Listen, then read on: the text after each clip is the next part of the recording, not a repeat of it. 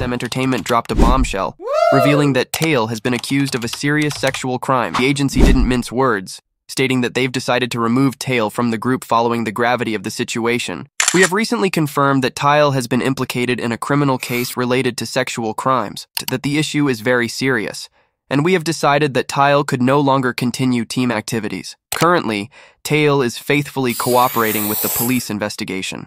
Netizens were stunned by the news, with many expressing shock over how quickly SM Entertainment acted. Some of the reactions include, Who's Taeil? He's been kicked out, amazing.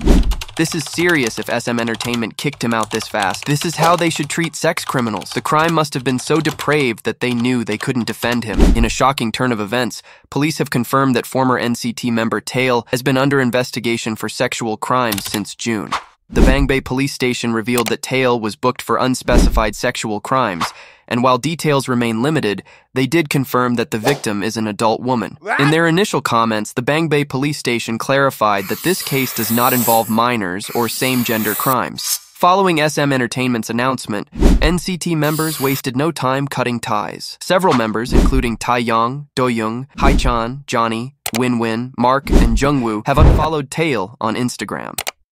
Taeyong also took down photos with Taeil, including those from his military send-off in April. This story is rapidly developing and will keep you updated as more information becomes available. Stay tuned for the latest updates on this shocking scandal.